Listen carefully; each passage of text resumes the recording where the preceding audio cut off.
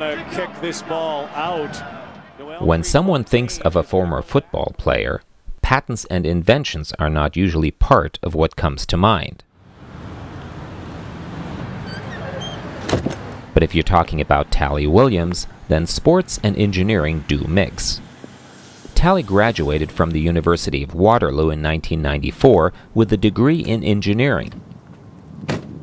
And he followed that with a successful run with the Toronto Argonauts as a defensive back in the mid 90s.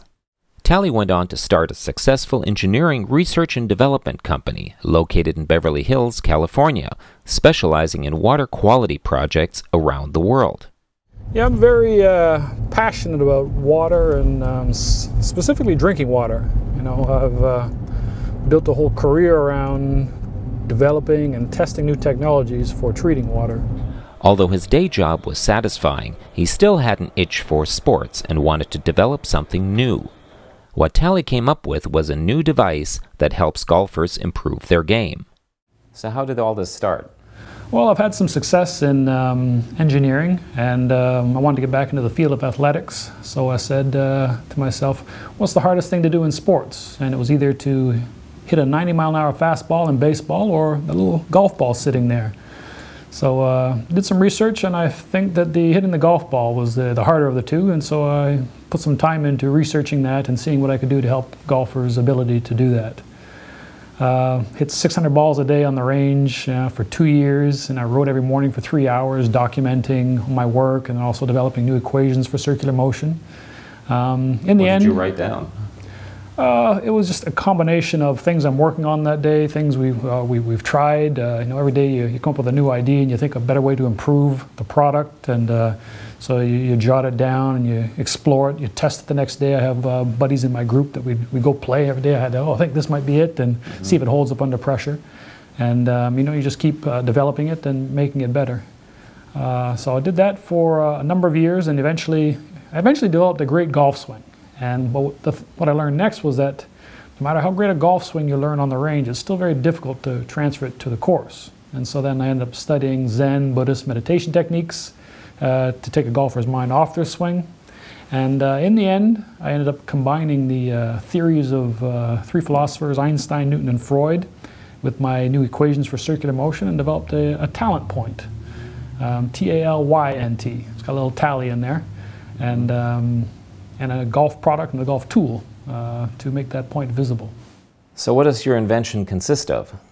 Well, it's a uh, mechanical device. Um, it has a Talynt point at its tip here uh, for focusing on. And what it does is it attaches to your forearm. Mm -hmm. And instead of swinging your golf club, you actually swing this red ball, and your mm -hmm. golf ball gets hit. Looks a little bit like a like a golf ball. Did you just take a golf ball and paint it red? Uh, no, I did not. But I did want something you know, very vibrant and colorful, something that would take your mind off what you're doing and sort of hold your focus, because that's one of the things that's uh, very difficult in golf. You know, just a split second, your mind will jump back and to remind you of all the failures that you've had over all your golf swings. I've heard you say that uh, your process uh, involves um, not swinging your arms while hitting a golf ball. I can't understand how would, you would not be swinging your arms when you're swinging your arms, or it appears at least as such. Right, that's true. It's uh, somewhat controversial, I guess. You know, we do get a, a, lot of YouTube hits because of that. I think we're up to like two million now, but um, that's based on Einstein's theory of relativity. It's all relative. So. Um, basically what happens if you have a person who's standing on a bus, standing still on the bus, and the bus is moving down the street, a person on the bus would say, well, that person is standing still. Yet the person who's out on the sidewalk looking at the bus and the moving would say that person is moving. And so we've actually incorporated that into the golf swing such that you hold your arms stationary while your body moves, and such you're not swinging, but you are impacting the golf ball. So it's without swinging your arms. Mm, okay, I'll have to. I guess I'll have to try that right. uh, myself. So when, when you're not swinging your arms, but uh, it appears like you're swinging your arms, uh, from what I understand, you're able to go ahead and drive a golf ball 300 yards or more. Uh, and they've tested this or something? It's sort of the, the holy grail in golf. Everybody wants to hit the ball 300 yards. And yeah, at one point, you know, you should, uh, when you're, you're developing a product and as an inventor, you want to substantiate your claims. And so mm -hmm. 300 yards without swinging, uh, without swinging your arms, uh, got tested by an independent lab and I got five swings And um, we did well. I think we averaged about 308 yards, and the longest was 319 yards. So Ah, we posted that on our website too. Oh, what was the lowest one, dare I ask? Uh, I think 301. 301. all Oh, so you're still you all right. above three. Okay, well that's good. Very important, exactly. Yeah. So if anybody wants to see that, they can go to taly.com, and uh, we have our results posted there. So, what was your biggest challenge in developing the Taly Mindset device?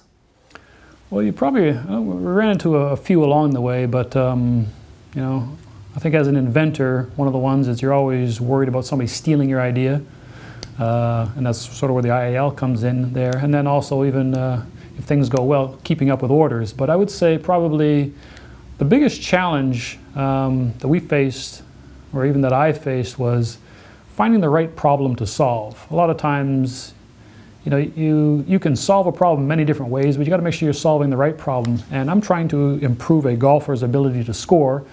You know, do I develop a better golf club? Do I give them a better swing, or maybe do I give them a better mindset, or a combination of those? And um, so that was the biggest challenge because once you find the problem or the right, or the proper problem to solve, you know, a lot of times the solution can come fairly quickly. For exercise and to get away from engineering new things, Taly heads to the local basketball court.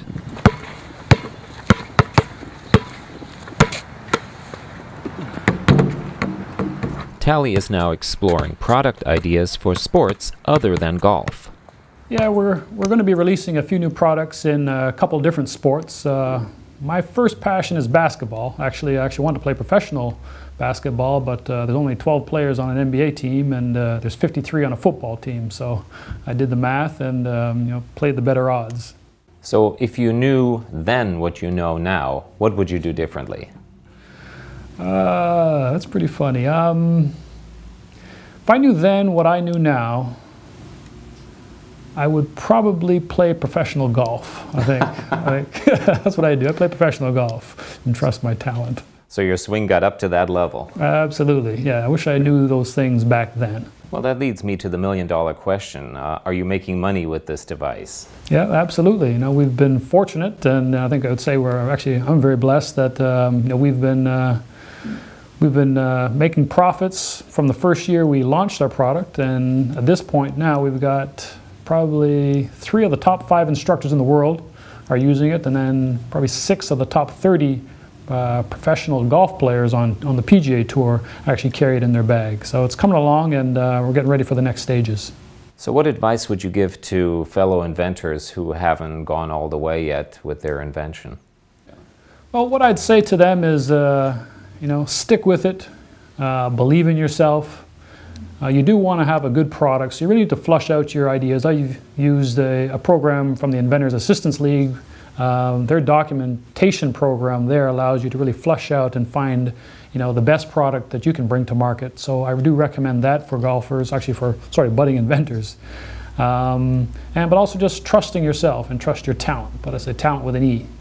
No question, Taly has talent, and has trusted his talent, whether that be on the football field, as an engineer, or inventor.